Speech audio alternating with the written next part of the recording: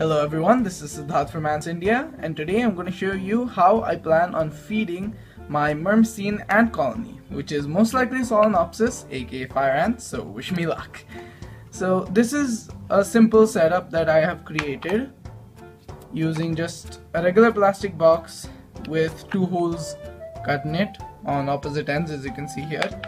So what I'm going to do is um, attach the ant colony's test tube to one of these holes, plug the other side with cotton, and then, as you can see after opening this up, I'm going to place their food in here.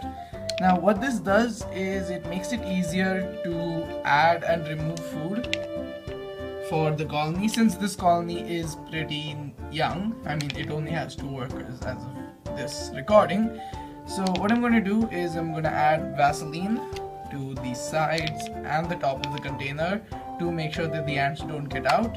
And I also have one two three four and five. So I have five uh, air holes poked in the top of the container to make sure that the ants get circulating air.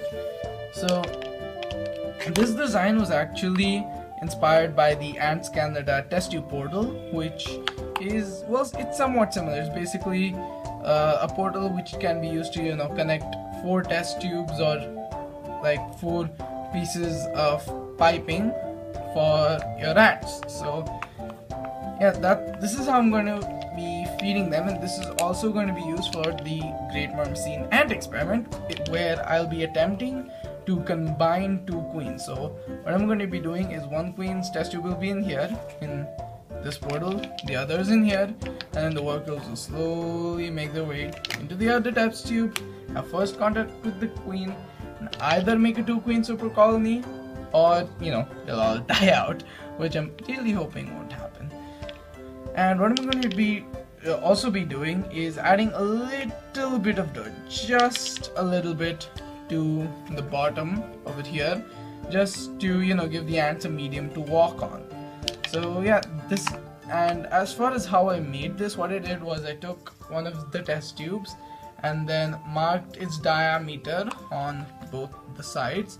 And then I used uh, a hot knife and a screwdriver to just melt away these two holes. And I actually have multiple sizes of small test tubes so one of these holes is bigger than the other to accommodate for both sizes. And that's pretty much it about this portal I'll probably be making another one as my ant colony you know gets bigger so that I can then attach all of these and make a network of test tubes and portals. But that'll be a video for another time. As for right now thanks for watching. So I decided to add this video on right at the end before ending this video officially to show you guys this ant setup in action so here I have my Solenopsis queen.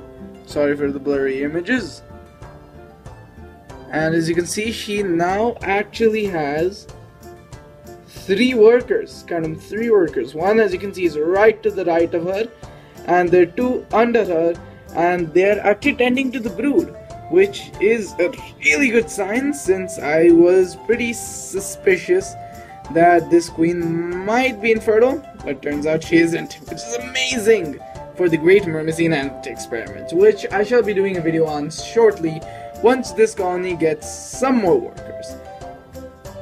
Now here, as you can see, is the test tube setup. I have one end plugged with cotton, and inside is the ant's first meal. I'll be changing that every few days, and what it is is a little bit of peanut butter and a bit of honey.